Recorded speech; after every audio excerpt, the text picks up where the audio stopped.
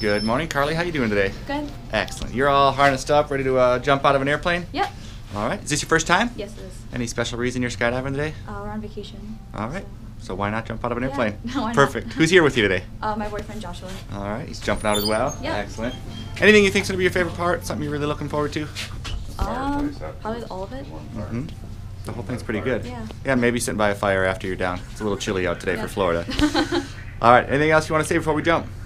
um, no, I don't think so. I think I'm good. All right. Let's go have some fun. All right.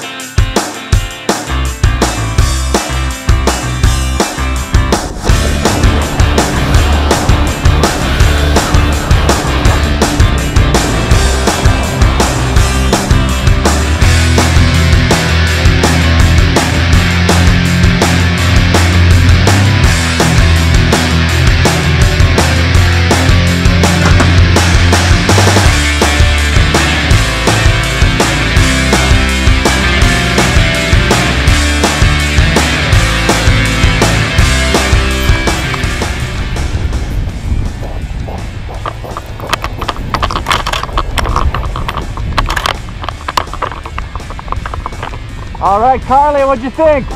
Pretty cool, right? A little chilly? Definitely. All right, what was your favorite part? Probably jumping off. Right up the door. Yeah, awesome. Let's look this way. We'll get one more picture. Go ahead and take the goggles off. All right, ready? One, two, three. Thanks for coming to Skydive DeLand.